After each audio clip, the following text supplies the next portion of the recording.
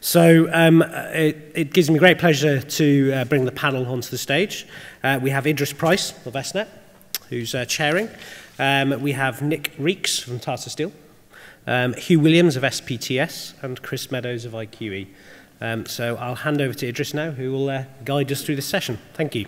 Okay, thank you. Thanks. Yes, I'm uh, delighted that on stage I, uh, I have representatives from um, three of Wales's premier manufacturing companies. So thank you, all three of you, for, for joining me.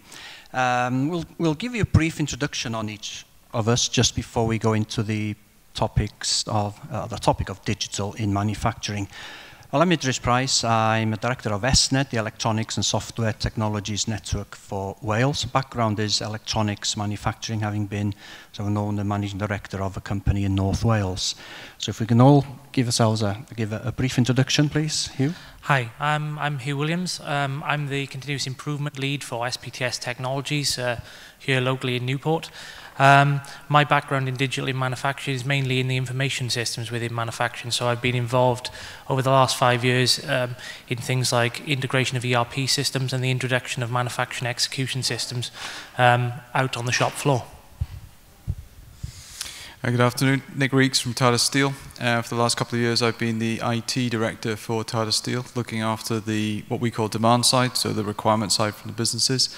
And prior to that, I've been in the steel industry now for 25 years. Thank you. And I'm Chris Meadows from uh, IQE PLC.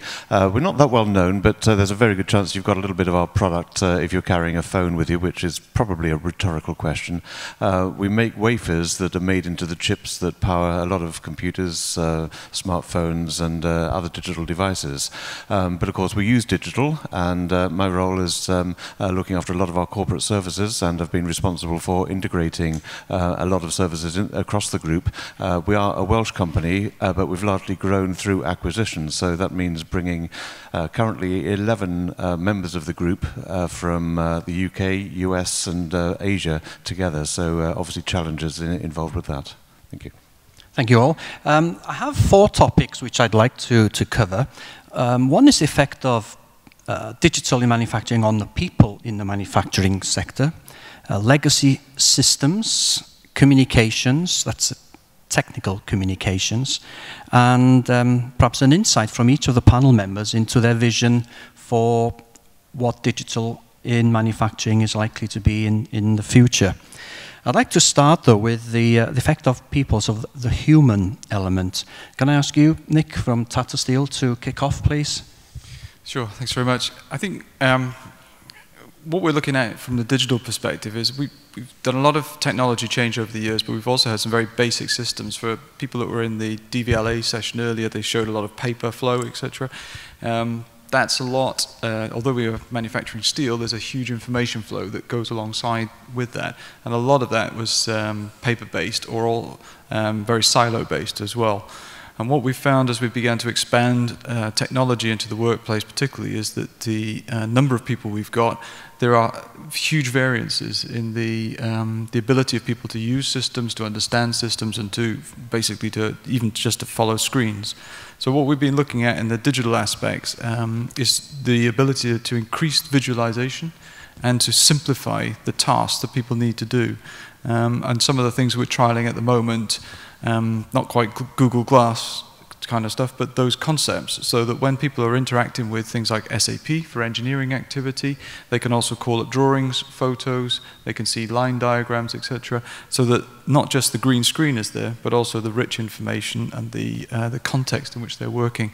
We're also working in our um, North UK plants at Scunthorpe, um, where people are putting materials into place and putting them away using their tablets as crane drivers rather than having to kind of log information and then do that task when they finally get back to their uh, workstation when somebody else may have been in behind them and actually moved that steel and we've lost that steel in the process flow. So this whole thing about um, simplification, uh, visualization is a great way for us to change the, uh, the whole interaction that people have. What's the, what's the reaction of people in implementing all this digital stuff? I mean, the, the factory floor person, for example we, we're not as far in the factory floor digital aspects as we would like to be, um, but from a sales and marketing perspective, um, it's actually it, has been quite tough for them because we've moved, uh, I think we consolidated 54 websites, for example, down to two, and we brought a lot of the sales and marketing team into that space. Um, but we find now that as we've handed over more of the, um, the task to sales and marketing, to the marketing people themselves, and it's not an IT call, make, make this for me, do this for me, um, they miss a lot of the skills. And they don't understand the, the importance of being right, testing it, checking it, then releasing it. Uh, so those things are difficult. Uh, from a work uh, a, workforce perspective, um, within Scunthorpe, which is the one that we're just about to make a significant change in a minute, um, absolutely huge embrace of the change because they can see um, how they can interact better with the systems and actually improve their daily life and reduce stress. The stress caused by losing steel in the process is high because people are chasing around trying to find something, and the ability to track things uh, straightforwardly, um, they're actually saying, yeah, let, let's have it as soon as we can. Anyone else? Yes, um, to a certain extent, I'd agree with a lot of that. And my personal experience on the shop floor, we have um, SPTS is a batch manufacturer, so uh, we've got a lot of labour content within the shop floor. Um, and one of the things we've sort of done recently is sort of digitize the shop floor, so pull a lot of content in. So where people were using uh, paper-based drawings, Excel spreadsheets, Word documents, and filling those in manually, um, and then maybe scanning or re-putting in data later, we've moved to a system where when they're putting data in, they're putting it into a live system. Um, but when we did that, it's surprising actually the amount of change management you need to do um, and the sort of resistance you get from people because you're changing their world. Um, so what they used to, um, they used to they used to paper the comfort of it, and they go into a new screen. So you have to do a lot of training. And one of the things we found with that was the fact that when you when you roll out these systems, is making sure that the people not only training, but it's good if you can integrate them into the rollout project. So when you do a conference room pilot of the software, if you can have the people involved in that, um, they don't just iron out the bugs, but find out, you know, find potential new uses for the software um, and get actually sort of buy into the software before you rolled out on the shop floor. Um, and that was quite important for us. I think we have uh, slightly opposite um, uh, experience in some ways because uh, we're not particularly labour intensive. Um, a lot of what we do is in back office um, and actually we can run a shift with just a handful of people. Um, but actually the impact uh, in the back office has, been huge um, and actually one thing people comment on if they come around to, to look at what we do is that it doesn't look like a manufacturing site because a lot of it is actually already automated but actually the stresses that go on trying to get things ready and, uh, and preparing uh, the production details um, are actually probably as much as they've ever been when it was paper-based. Uh, and in fact, I know that people still keep their paper records um, uh, to, to, support the uh, electronic systems. But, but uh, I was saying, just as we sat down, I, I, remember we, we, we, went through this, um, I guess as humans, we all go through this sort of phase. Um, when these projectors first came in, I certainly used to carry around a bunch of acetates just in case. And I think that's the same with any new technology technology, uh, there's always a little bit of mistrust when it first comes in, and it takes uh, a little while for us to get used to it and to accept and to understand um, that it can be something that, that, that will be reliable. Um, and it may just be, I'll say my age, but um, it may just be an age or generational thing because uh, a funny anecdote I've seen or heard of is, um, is a two-year-old um, girl looking at a, at a traditional magazine and wondering why it doesn't seem to work because trying to swipe it, nothing happening.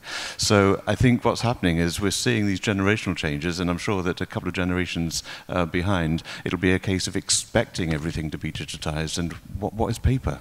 So I, th I, think we'll see those changes. I, I, do think it's evolutionary rather than ev uh, revolutionary, though, in that um, we talk about digital digitalization as if it's going to be a magic wand that's suddenly going to change everything. I think certainly in manufacturing, but I'm sure uh, listening to the previous um, debate on, uh, on healthcare, uh, I think it's probably, we're talking maybe decades before we actually get to a position um, where everything is fully digitalized. So I, I don't think we're looking at an overnight revolution on these things. Well, we've heard from uh, two different types of manufacturers, really, labor intensive and Chris, where you don't have many shop floor workers at all. But I think the common theme is effects on people, isn't it? And adoption. And um, so many organizations don't, I believe, put enough effort into the human aspect of it. I think, Nick, you were leading on this earlier on. Yeah, yeah. I think there's general agreement on that. I'd like to move on to um, to um, legacy systems and uh, what do we do with so many of these older systems that are already in use and uh, in place when trying to implement new digital technologies. Who would like to go first? Well, since I'm holding the mic, uh, kick off. Uh, I, guess, I, guess, from our point of view, um, as I mentioned uh, to start with, um, we, have grown largely through acquisition, but also um, with some new startups. And uh, certainly with some of the acquisitions uh, of uh, large American corporations, we've actually bought a part of a company, part of a large company. Um, and so we've inherited systems that not only are legacy and quite often a long way out of date, um, they're actually integrated with other parts of systems. And I think it's very easy to underestimate the work involved in being able to extricate yourselves from one existing system and then to update it and then to make it compatible with other systems. Um, and this is a, a, process that we've been through many times. Um, as I say, we have uh, 11 members of the group, um, five in America, four in the UK, and two in Asia. Um, and as you can imagine, uh, most of those have actually been acquired over the last 10 years.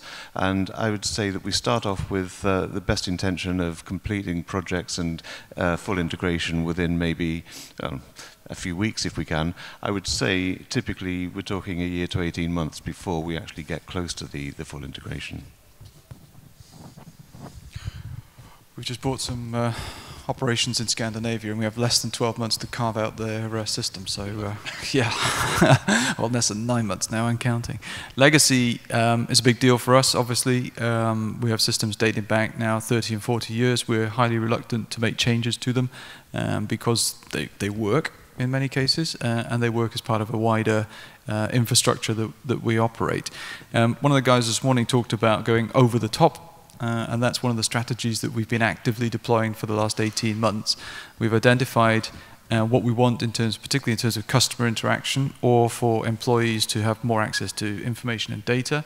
We've been building more connectivity and more hubs that sit between the new world and the old world so we can take the strain off the old world in terms of legacy, and people start moving, and customers particularly start moving to operate with systems that are digital or web-based, um, and we're using integration hubs um, from technology partners like OpenText um, to help us in that journey so that we can have a buffer between the legacy and, and the new world. Um, I think uh, my experience with legacy or one of the um, I think is always the things that you don't know uh, when you're doing a software implementation. So when, um, about five years ago with SPTS, when it was formed as a company, it was formed out of uh, two companies actually based in Newport that were the same company about 26 years ago. Um, so what happened was when we re-merged the company, um, when, they, when they went their separate ways 26 years ago, they took the same part numbering systems. Um, and for 26 years created part numbers so that when we came back together and wanted one Oracle system, then suddenly we had a lot of machines to put back together. And we had this sort of unknown thing, well, how do we get all these part numbers that are now the same but completely different things working on the same system? Um, so that, that brought up a lot of interesting um, interesting challenges for, for SPTS as a company. Um, we got through resolving them by different sort of techniques and sort of maybe renaming part numbers. But I think that's uh, whenever you look at integration, it's those sort of things you can never you can never predict. Um, I think everybody thought it was a simple thing. We we had the software and we were ready to go. Okay, let's have a look at the data. And when you come to clean the data, that's uh, that's where you often find your problems um, and the things you can't predict.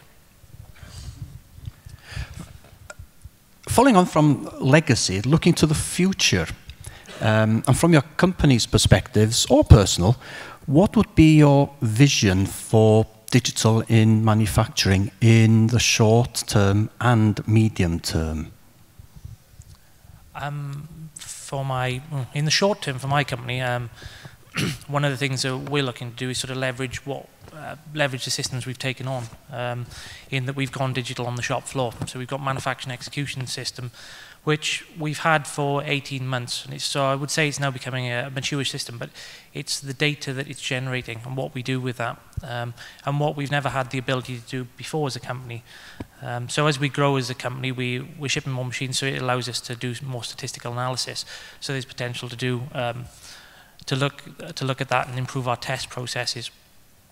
Um, longer term, it's more difficult because we're such a labour intensive uh, company, I would say, for um, on a personal level, it's very difficult to predict what it's going to be because it's going to be labour intensive um, unless what we actually do increases in volume um, exponentially and sort of justifies that need to um, digitize or actually put in robotics um, to manufacture.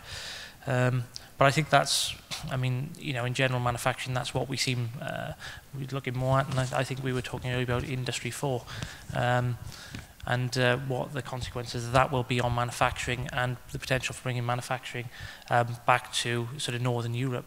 Um, uh, well, short and long term. Um, I hope, first of all, there is a long term for steel. So that's be the, the first challenge.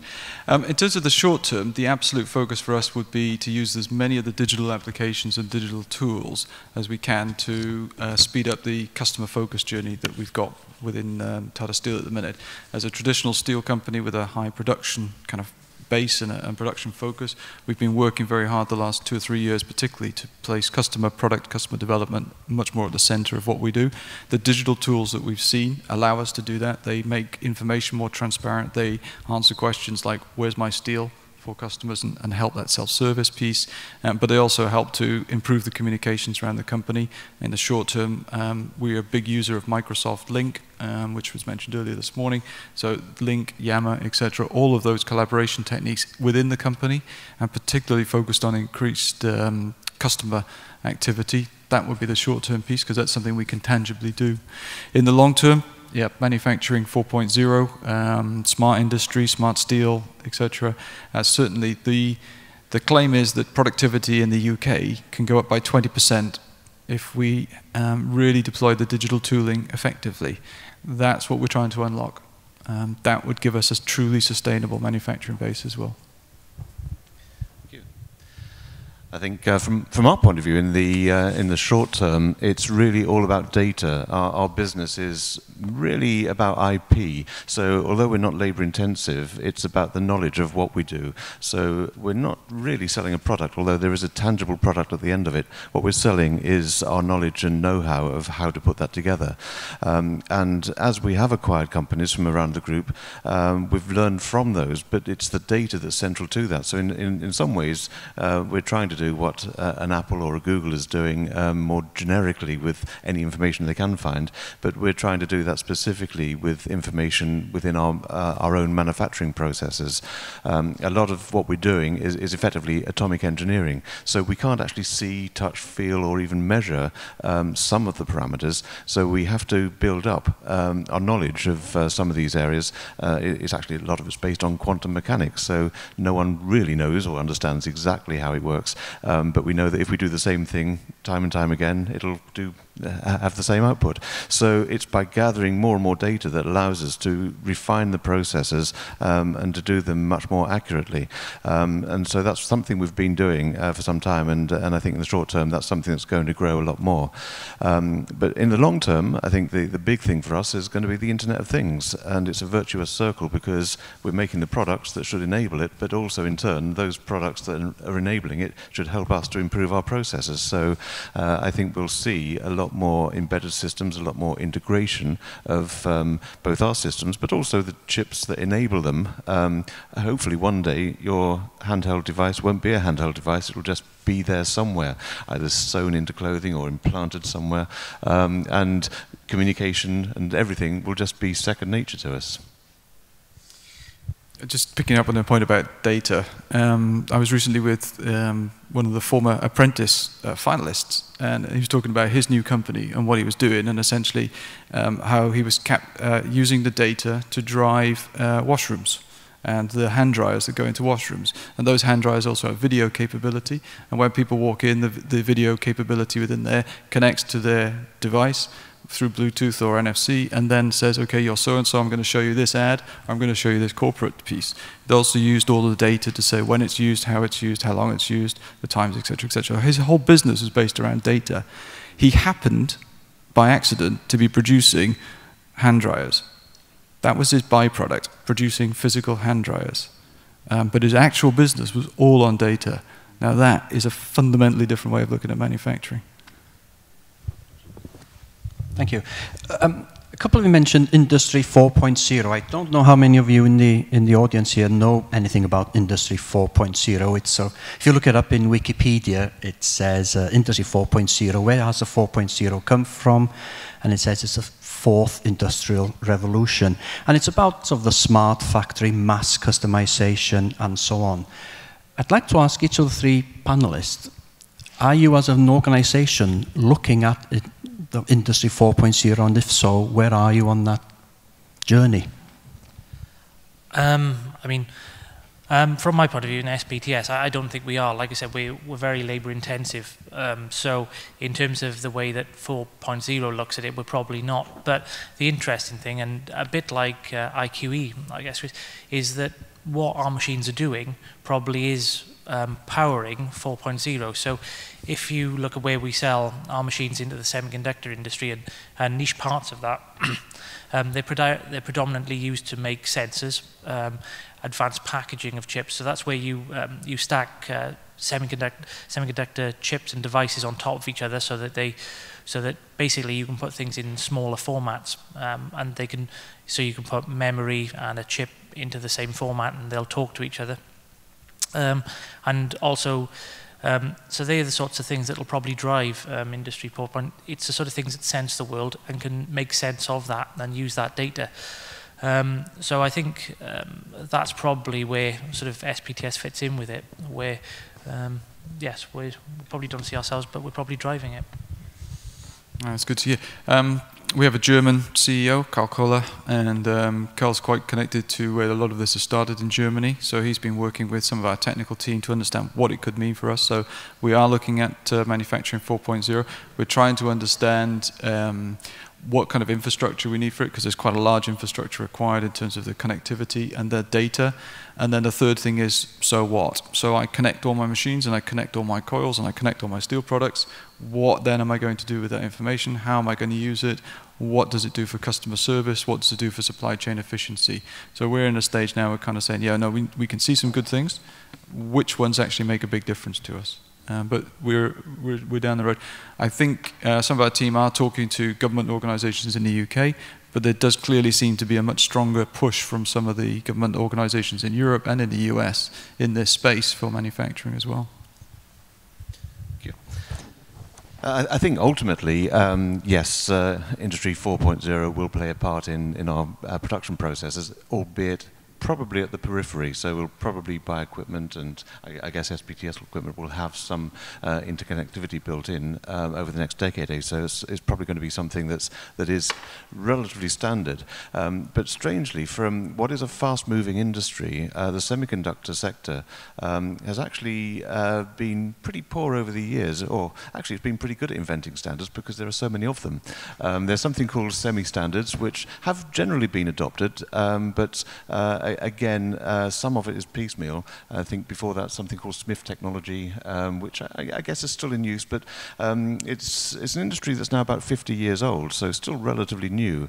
Um, but uh, I think in terms of standard manufacturing, it's really still uh, inventing itself and trying to understand how um, to, to become much more efficient. So in some ways, it's, it's a long way behind steel and other engineering um, uh, areas, but uh, I think it's learning quickly. Okay, yeah, this um, Industry 4.0 is it's certainly in, in, the news and quite a, a, topical topic. But as you're saying, Nick, it's uh, it's pretty led from Germany, isn't it? I was talking to um, the managing director of Siemens Automation very recently, and they seem to be pushing it very hard. Obviously, led in Germany, and, and I guess Siemens are looking for for business from it. Um, yeah, yeah.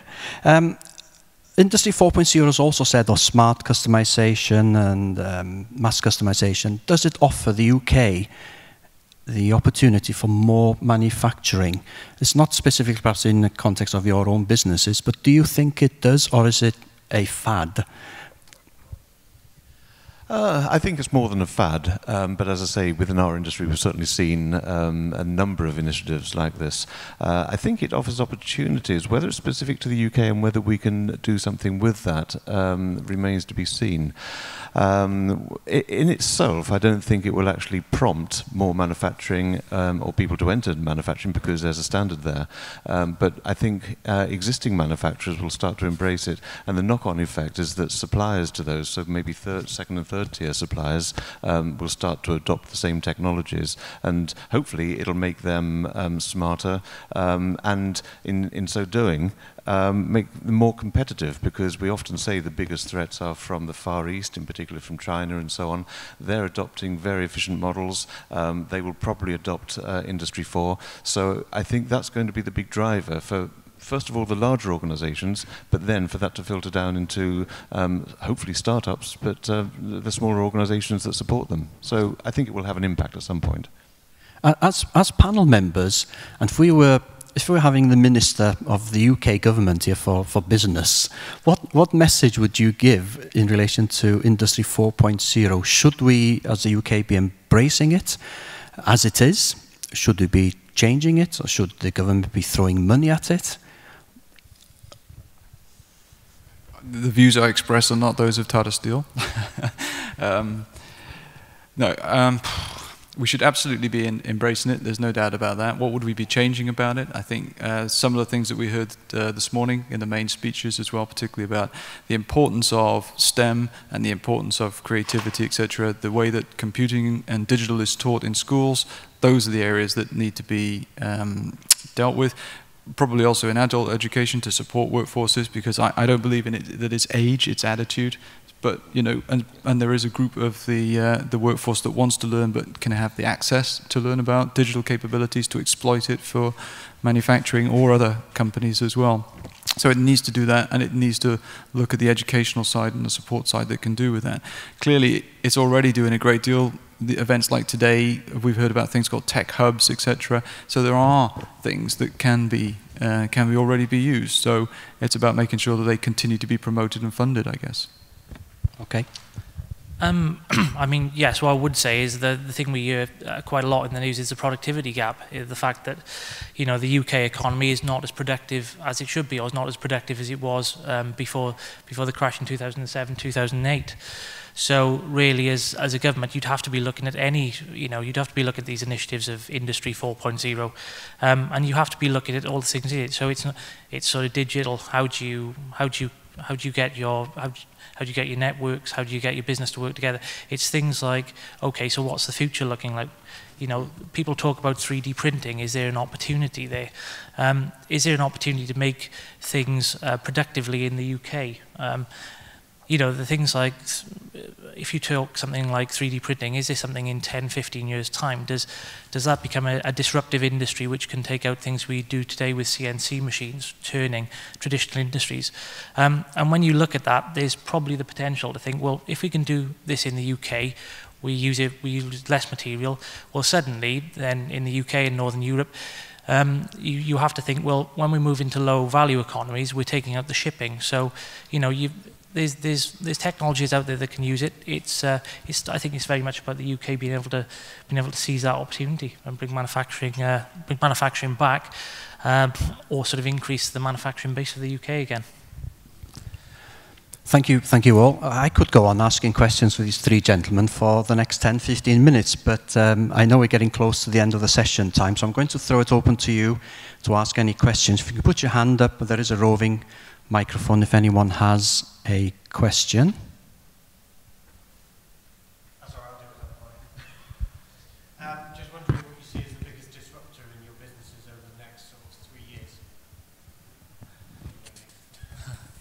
Um, okay, that's quite a challenge. Um, I would, interestingly, I would hope that um, to turn that on its head a bit, I would hope that what we are doing and some of the things we're doing in the SPTS, we actually become a disruptor in some industries.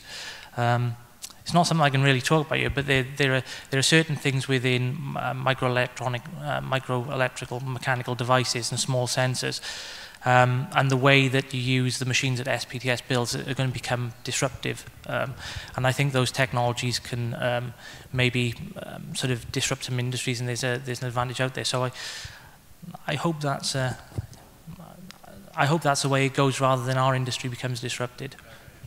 Okay. Um, within a three-year context, for what um, the application of big data and, and steel in use. Um, so the, the, the, properties of steel, how they could be changed, etc. And somebody has the opportunity from a steel context to provide new products into the marketplace faster than we can. Because steel, I think, is a quite a slow cycle in terms of replacement.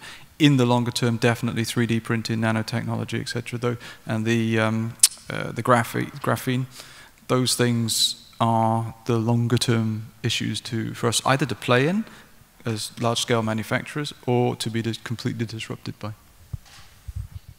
And uh, pretty much the same, actually. Um, uh, funny you should mention graphene. I was going to say the same thing, in that uh, we are a materials company and we specialize in semiconductor materials.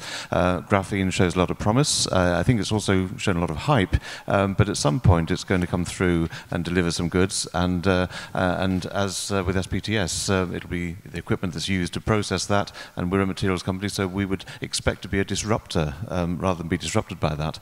Um, but we want to play into whatever new technologies come along. And uh, we've been a driver, and the semiconductor industry has been a driver through Moore's Law for the last 50 years. Um, I think uh, a comparison, which I don't really like to make, but uh, is I, I, think it was um, Bill Gates said that uh, if the uh, automotive industry had kept a pace with the speed of developments in, um, in computing, then a car would drive something like a million miles on a gallon of fuel and cost something like 10 pence.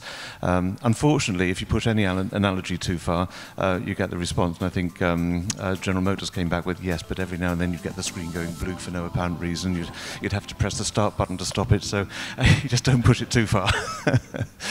We've run out of time. Sorry, so no more questions. Fantastic. Thank you very much indeed.